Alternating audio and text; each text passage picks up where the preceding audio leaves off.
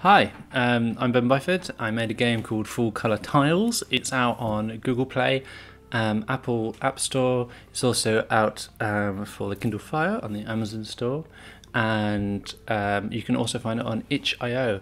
Um, so I'm making this video because this is my first game, and what I wanted to do with my very first published indie game is to learn as much as I could. So um, this video is all about um, making a very, very simple game. Um, why, uh, how, and what happened when I published it, and all those things. Um, so, to kick us off, um, here's a little bit about me. Um, so, I am a web designer. I've been doing web design for nine years now. I do UI, UX, and uh, front end builds, uh, templating, and such. Uh, I usually use ProcessWire uh, CMS. Check that out this is my website. Um, I also run the Machine Ethics podcast, so we talk about um, difficult, difficult ethical dilemmas with interesting people, um, such as Joanna Bryson and um, people like uh, Nick Reed, Calum Chase, all sorts of different people. So check that out on iTunes and uh, Stitcher. Okay, so why did I make this game in the first place? So I really wanted to make a computer game, I realised that after um, nine years of working as a web designer, I built up enough kind of design and um, web skills to be able to start getting to grips with making something. Um, and I wanted to make something small, and there's lots of really great videos on YouTube. Um, Extra Credits is one of them, um, where they talk through some of the aspects of making games and give you some tips. Uh, one of the biggest tips, uh, which appears in their videos, but also lots of other videos, is making an MVP, or, um, which comes from the Lean Startup book uh, from um, uh, that guy. Um, and the, an MVP is a minimum viable product, viable product. So make something really, really small.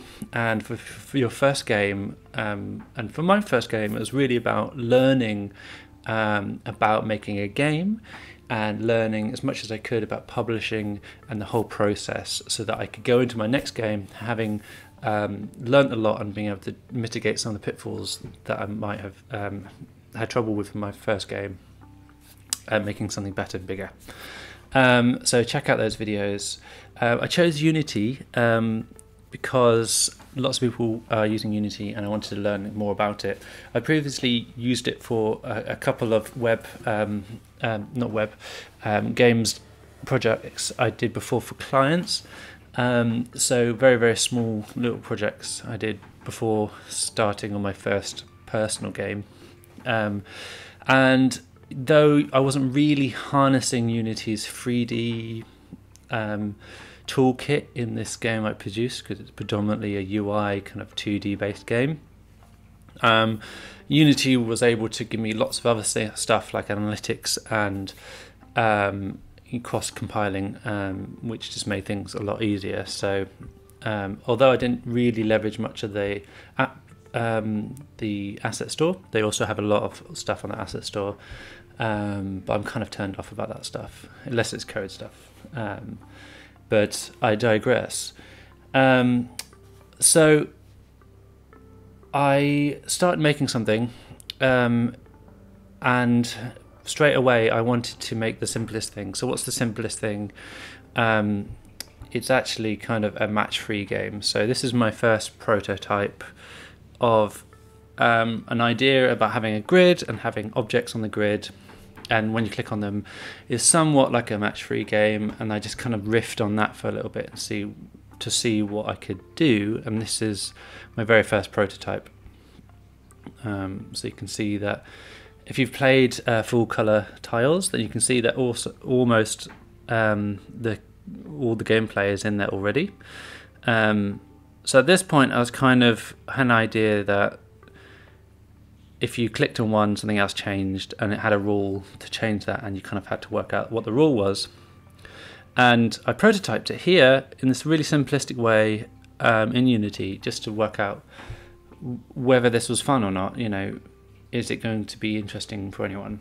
Um, and at this point, I started showing it to people and making the decision that I liked it enough to carry on working on it, um, and other people, you know, reacted in a more or less positive way.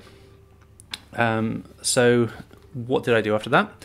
Um, I started using Trello and Clear, um, so like a listing um, app, and Trello, which is kind of like, you know, you can make a task managing app. Um, so a really easy and simple way and free way to make notes and basically track what I was doing in my progress. Um, so things might be, I have a list of things that I would like to do or would like to implement in the game. Um, here's the progress so far. Here's what's done. Uh, maybe a bugs column. That's quite useful. Um, and I kind of prototyped and and did that in lots of iterations, um, and ended up with my first um, and, and ended up with a game which kind of looks like this um, in the end, which is similar but somewhat different.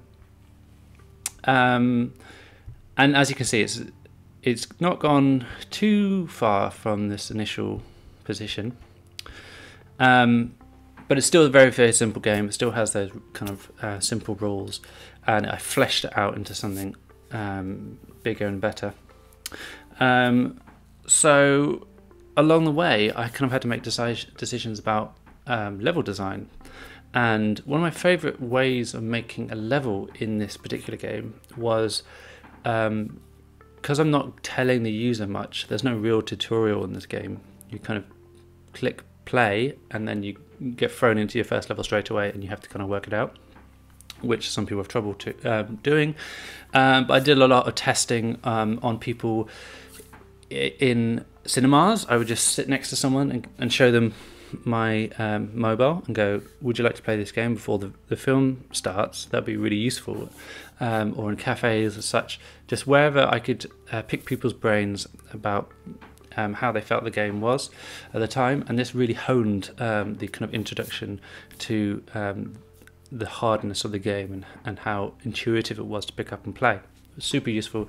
Um, show it to as many people as possible um, as you can. That's my biggest advice to anyone. Um, but as I was making levels, one of my favorite ways to make a level is kind of making a level. Um, you look at it and it's it's intuitive straight away. There's a lots of levels in full colour tile where you can basically look at it and even without thinking, you can kind of click on it. And um, this is a level that exemplifies that as you kind of click around this square in the middle, it's already showing you the solution, but because of the other levels aren't all like that, it almost tricks you into not um, taking the easy solution out. Um, this next level um, isn't like that, so you can't just click on these two um, and make it work, unfortunately. Um, but essentially, uh, there's lots of levels where you can look at it and intuitively win which I really find satisfying about the level design and also about um, playing the game as well. Um, one of the other things I did was I made a level generator. So this is a level generator I made in Node. Um, so all this did is, if you're familiar with Unity, so Unity is in um, mostly C Sharp, um, the scripting language that it uses. Uh, I wrote this quick level generator in Node um, because I'm quite familiar with JavaScript from my web stuff. And um, what this did is most of the levels are handcrafted, um, but at a certain point, I kind of um, didn't have any more ideas for levels. So I started making this level generator in hope that it would just make me hundreds of levels and they'd be really cool, interesting levels.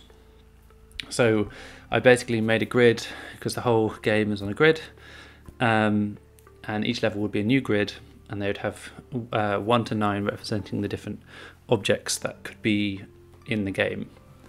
Um, and what I found with this level generator, though it worked, it made very uninteresting um, asymmetric levels. So they weren't beautiful and they didn't um, they weren't very satisfying.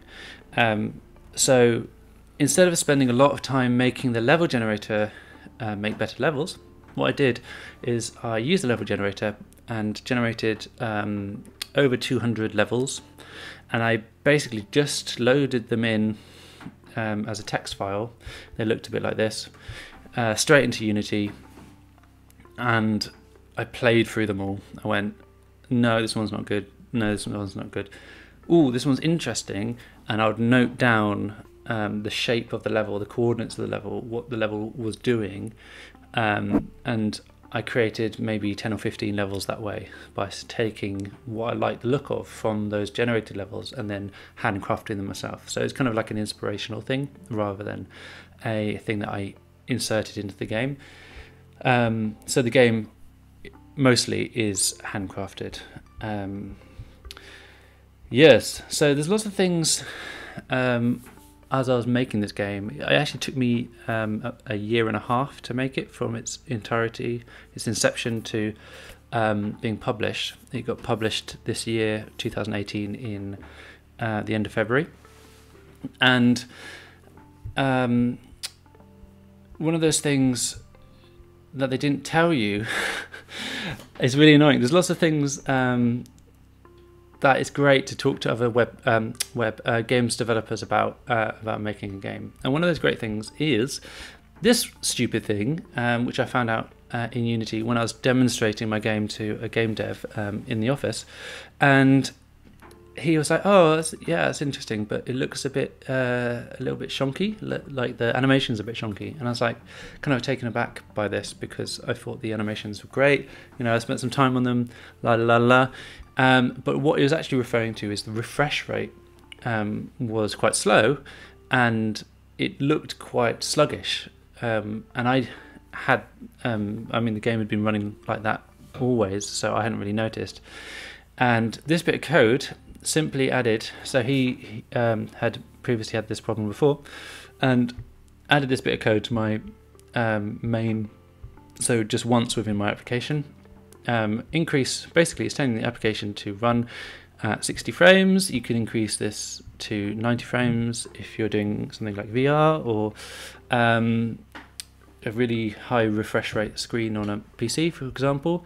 Um, I think 60 was uh, by far good enough for me. Uh, I think I decreased it to 50 actually on the actual build uh, for mobile, so I didn't completely kill your um, battery life um, and VSync count zero, so that's to do with the refresh rate of screens. After we added this, it looks so good. It was so silky smooth, and it was so frustrating that this stuff isn't like apparent or like in Unity. Oh, just before you publish this, are you sure you want to check these settings? Um, something like that. Um, so there's some things that you just don't, you won't find out unless you um, ask people who've done this sort of stuff before or have some experience in making your first game. Um, so use that, check that out, um, save you loads of time. It's great. Um, okay, cool.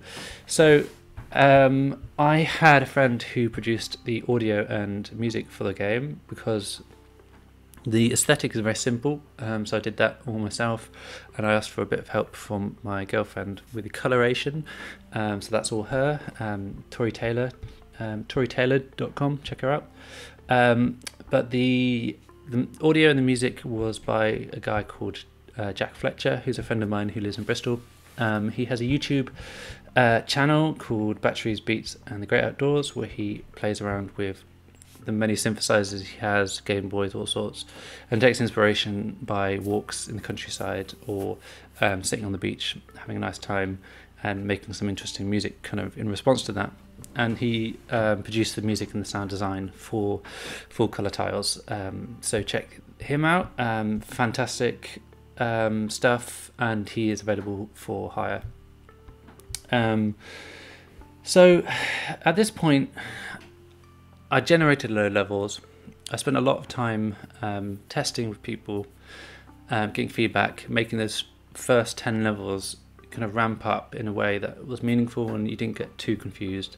And hopefully, you understood by the end of that what the game was doing, which would then help you with um, the rest of the levels. And at the end, I made uh, 60 levels for the first build. Um, and then it started getting to the time where um, I needed to do QA. Um, so I did quality assurance um, with a guy called Carl, um, Carl Aldred, um, who was a professional um, QA guy, which was super useful. Um, so I did that, and he looked at my game across lots of different devices and produced me a bugs list. And then I was able to take that bugs list away and, and start um, making the game better. Um, I also did a bit of testing myself um, and build um, built the game using Unity for lots of different platforms just to see how it would run um, and making sure that it was good enough across all these platforms. I think Android's still a bit dicey at the moment. Um, I think the back button doesn't work, but it's one of those things on my bug list I need to sort out um, for my first um, downloadable.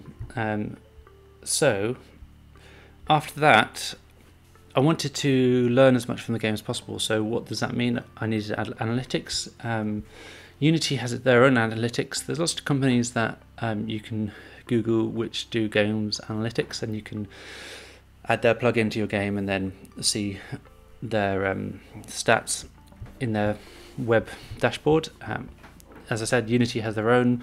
Check it out; it's really simple to use. Um, I find the active users uh, bit quite confusing, and this is actually live data. So um, yeah, I mean, shade, shade your eyes. So, um, but I mean, this indicates that um, at the beginning people started using it um, people were still using it most days, and I'm still getting users most days, um, but not very many. Usually like one or two.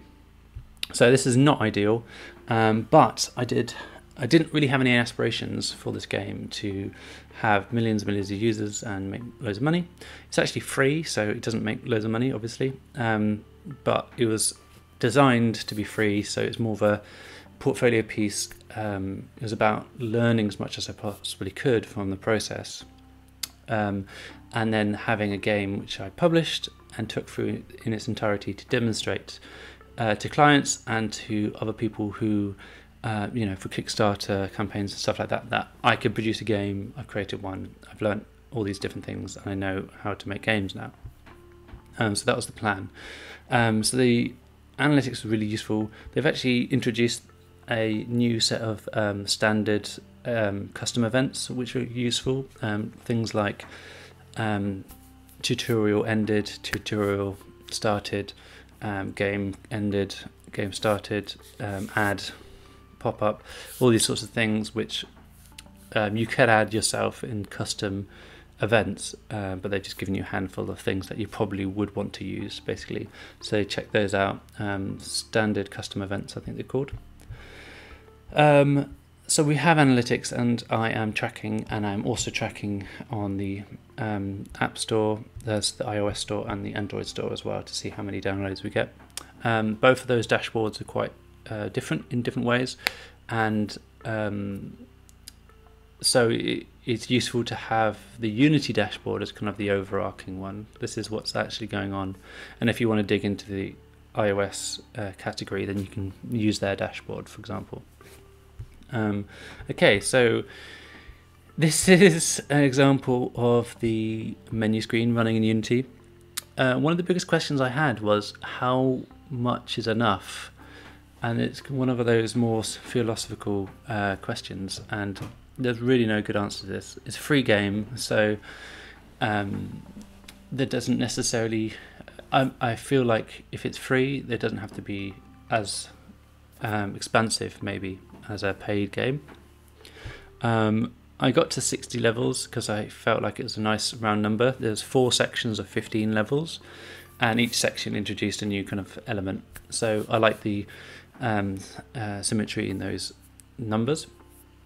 Um, so if I'm going to produce any more levels, I'd probably um, make more levels in packs of 60 so that you have that um, expectation set, basically carrying on.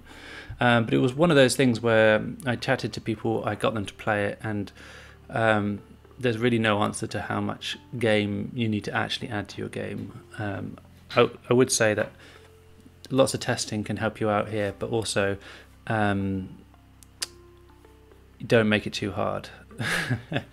uh, if if people can't get through the first ten levels, then there's an issue there, and I really tried to hone it so that you know they felt like they were progressing. Basically, I've played a, a few games recently where it, they're so hard um, within the first few levels that it's actually quite um, problematic and quite distracting to keep going. So I'm about to release the game, and when you release a game, you have to do all this other stuff, which is really annoying because you feel like as a games designer, especially as an indie games um, developer, you you want to make games, and that's your primary focus. And then you realise that people have to play the game, and what's worse is that they have to find out about the game. So there's all these other things that you have to do. Um, so what I did with my game is I created a website for a start. Um, so I created games.tnc.design. Um, so that houses all the games I make under that name, uh, which currently is one. Um, so check it out. Um, it has all the information about full colour tiles, where you can download it from, um, some videos and screenshots and all that sort of stuff. Um, there's a thing called Press Kit, uh, which is um, by the guys um, who made who uh, the indie guys Vlambeer, um, which is really good.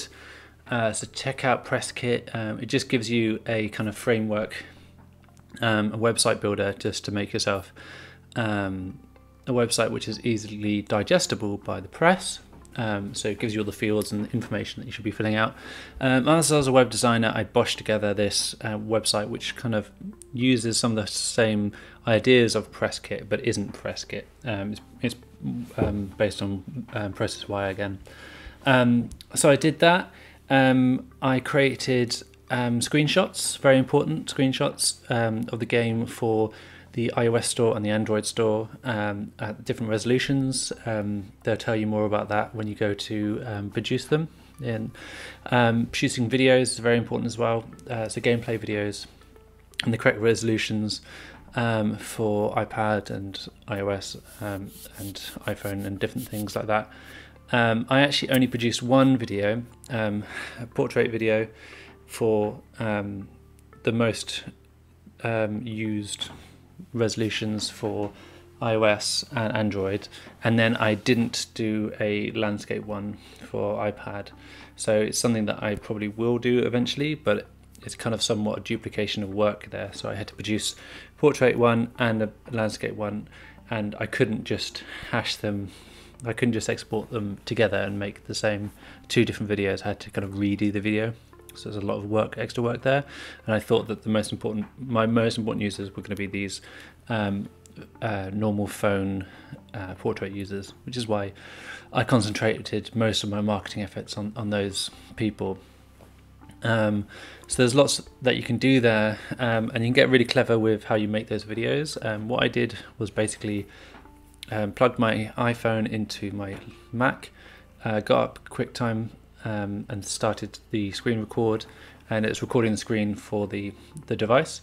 I started playing through it. Um, I played through as much as I wanted to demonstrate in the video, and then using Adobe Premiere, um, there's other uh, editing software you can use, obviously. Um, I then cut it down to, it has to be, for iOS specifically, it has to be between 15 and 30 seconds long. Um, and I, it's mainly gameplay with a bed of audio, and then I added some very, very simple titles over the top.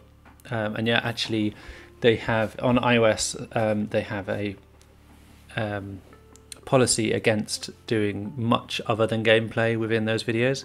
So you can put titles, but you can't really go crazy and do loads of visuals and stuff that doesn't actually appear in the game. Um, so be aware of that because um, they might turn you down.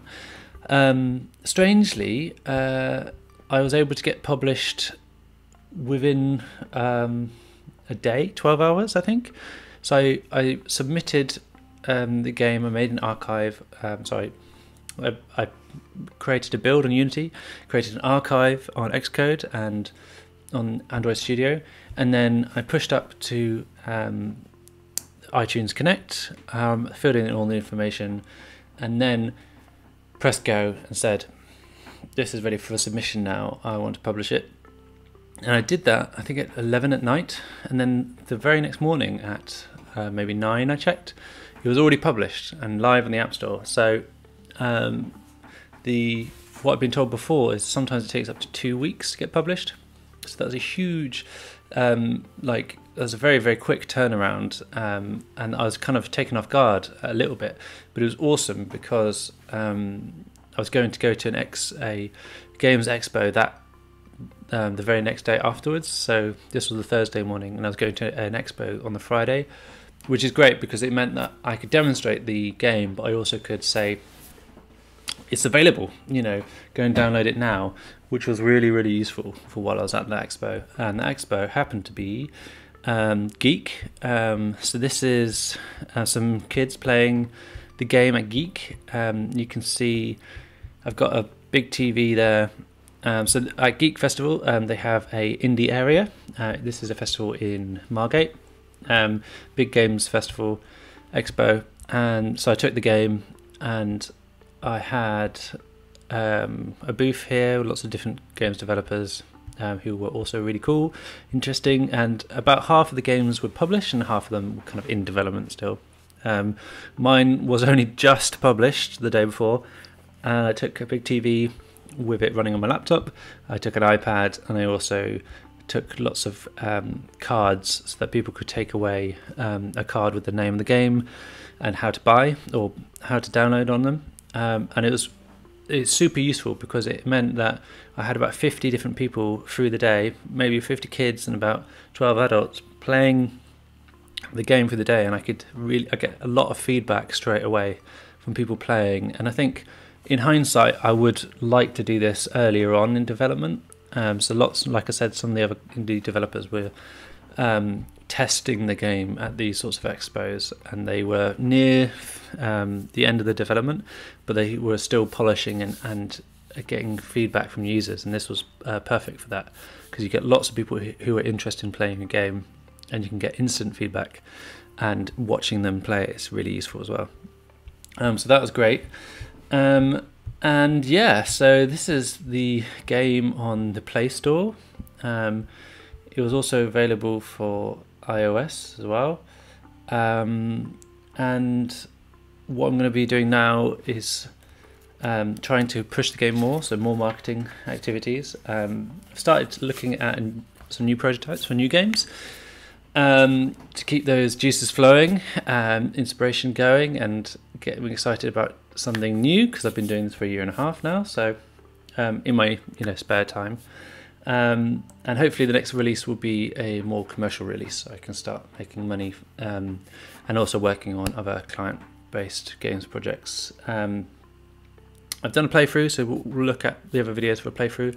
Spoilers, um, it will have most of the solutions to all the levels, so if you don't want to know the solutions, don't check that out. Um, if you want to learn anything else about um, how I create the game or what I did during that development process, give me some feedback um, in the, the, comments below. Um, and I'm looking to do some DLC. Um, so part of my learning process here is to say, well, um, I don't know how to develop DLC yet, um, so let's do that. And uh, what I'm going to do hopefully is make another level pack and make that downloadable for um, a small cost so that I can see how uh, people react to this downloadable content, will people pay for it, um, and just learn about that process. So I may make another video about uh, how I got on with that. Um, but for now, thank you very much for watching and go check out the game. Here we go. Thank you very much.